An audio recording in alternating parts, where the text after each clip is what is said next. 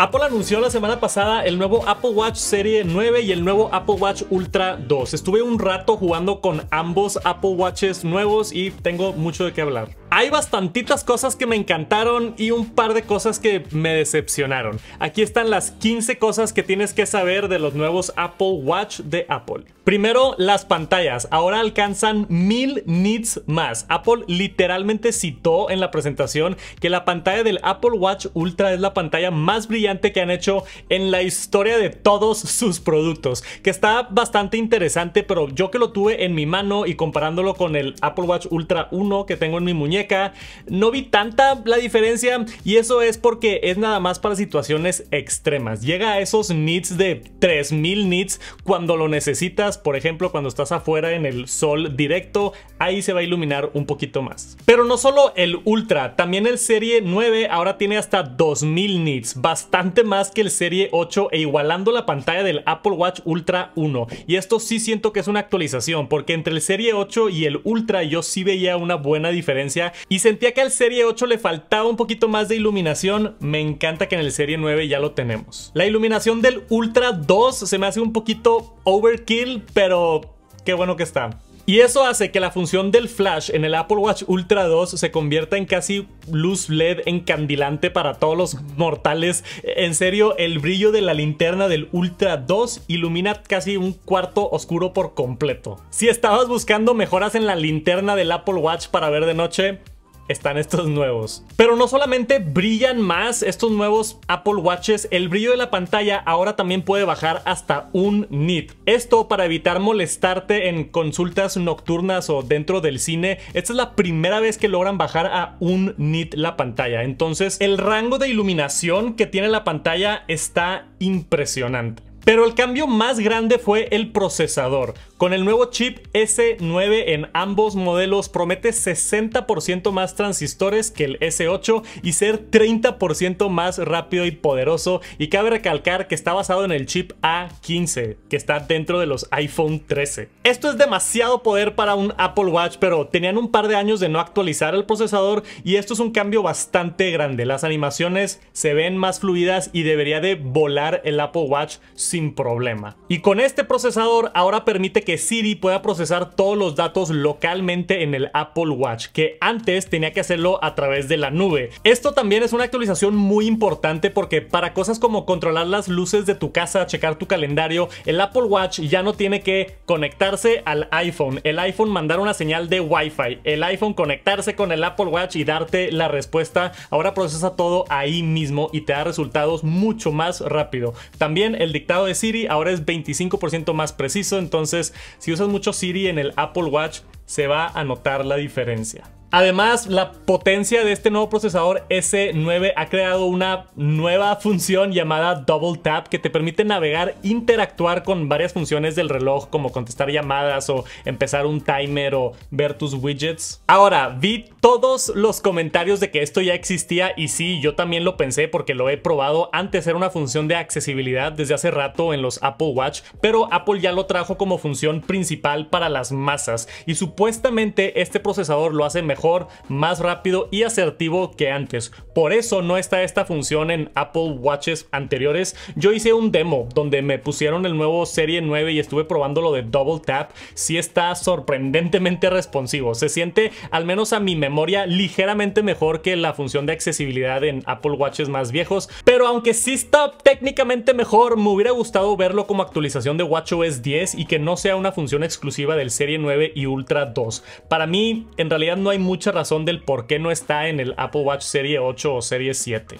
Creo que ahí también hay un elemento como de marketing para que tengan más cosas nuevas, los modelos nuevos que tiene sentido, pero esa excusa de que el procesador tiene que estar súper poderoso para correr la función, técnicamente es verdad, pero aún así me hubiera gustado verlo en los modelos anteriores. Y algo bien interesante de ese nuevo gesto del Double Tap para el Apple Watch es exactamente, yo que probé el Apple Vision Pro hace un par de meses, es exactamente el mismo gesto para seleccionar cosas en la interfaz digital de realidad aumentada de Apple. Entonces, como que ya nos están acostumbrando a, hacer esto, no nada más en el futuro con Apple Vision Pro, pero también en el Apple Watch, que se me hizo bien curioso. Pronto vamos a pasar de Hola, perdón, nada más estoy pasando. Suscríbanse al canal, que no se les olvide, dejen un like también, ayuda mucho. Bye, gracias.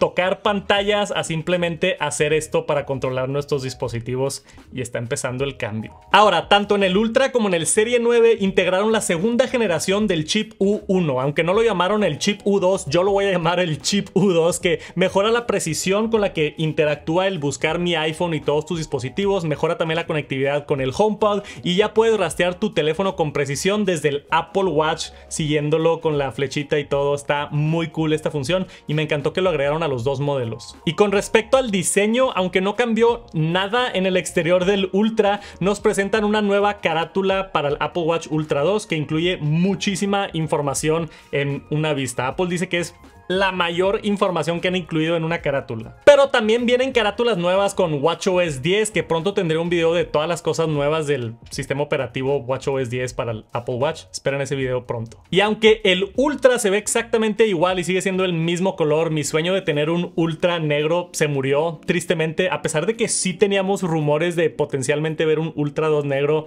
no sucedió. Eh, en el exterior del Serie 9 sí hubo una ligera refrescada porque tenemos un nuevo color rojo rosa, quizá por el trend de Barbie y esas cosas. Vi el rosa en mi mano y es un rosa ligero, está muy bonito el color. Ahora, varios datos que no mencionaron en la presentación. Uno es la actualización en la batería, solo para el modelo Ultra 2, teniendo aún la misma batería base de 36 horas que el Ultra 1, pero en modo ahorro ahora alcanza hasta 72 horas. Antes el Ultra 1 llegaba a 60 horas con modo ahorro, entonces 12 horas más de batería está bastante significante. No sé por qué no lo mencionaron en el evento. Y otras cosas importantes que no mencionaron es que el almacenamiento subió a 64 GB en ambos modelos, Serie 9 y Ultra 2, para poder mantener contenido offline contigo a todas partes donde vayas, música, podcast, fotos. Antes estábamos limitados a 32 GB de memoria interna. Tener el doble almacenamiento definitivamente es bastante útil, bien por Apple. Además, el compromiso de Apple de cuidar el planeta ha ayudado a crear el primer dispositivo 100% carbón neutro, que está hecho en 30% de materiales en pesos reciclados, 100% electricidad limpia y 50% de los envíos sin transporte aéreo. Aparte, la electricidad no limpia que tú usas en tu casa cargando tu Apple Watch, Apple lo compensa. Eso quiere decir que al comprar un Apple Watch Serie 9 o Ultra 2 por primera vez en la historia de productos de tecnología, no estás dañando absolutamente nada el planeta que eso está increíble. Y eso viene acompañado con la despedida de todo lo de piel por parte de Apple, incluyendo las correas de piel y la entrada de correas con nuevos materiales reciclados y fine woven. Y estas también bajo las mismas normativas del carbón neutral, incluyendo las diseñadas por Nike y Hermes, ahora con materiales sintéticos y reutilizados. Me gusta que las correas de Nike vienen como trocitos de correas viejas recicladas adentro, se ve muy cool y también ayuda el planeta. Win-win.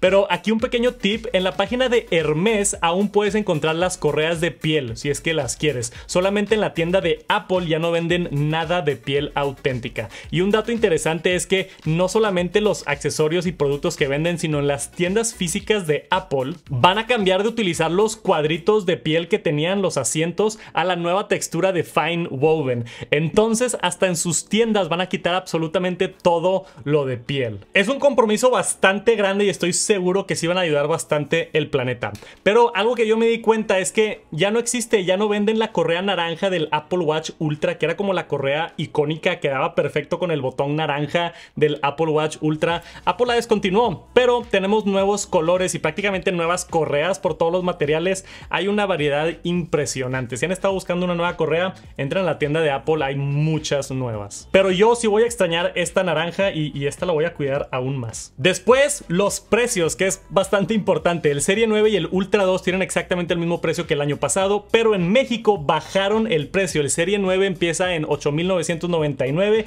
y se va hasta 16.999 si es que quieres lo más bañado con acero inoxidable. El Ultra está en 17.999 pesos, que se me hace bastante cool que bajaron de precio. Ahora, desafortunadamente no está la fecha de lanzamiento en México confirmada todavía para los nuevos Apple Watch. Yo creo que se van a tardar como unas tres semanas aproximadamente. Como quiera, yo los mantengo al tanto del lanzamiento. Di una explicación del porqué de esto, mi teoría detrás de esto en mi newsletter semanal nuevo de noticias de Apple y análisis, Semana en la Manzana. Si no están suscritos, se pueden suscribir gratis en semanaenlamanzana.com y los veo por allá en su correo una vez a la semana con las noticias de Apple. Les dejo la liga por aquí abajo. Pero después de ver todo lo nuevo, creo que el Serie 9 es una muy buena actualización sobre el Serie 8.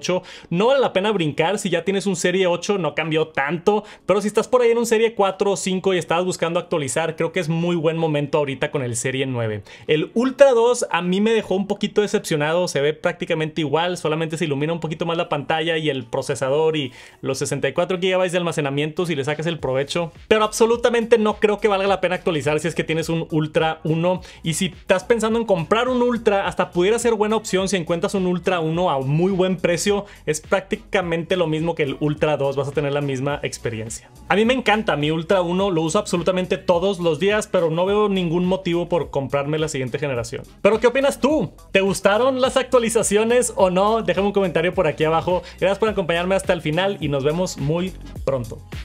Peace.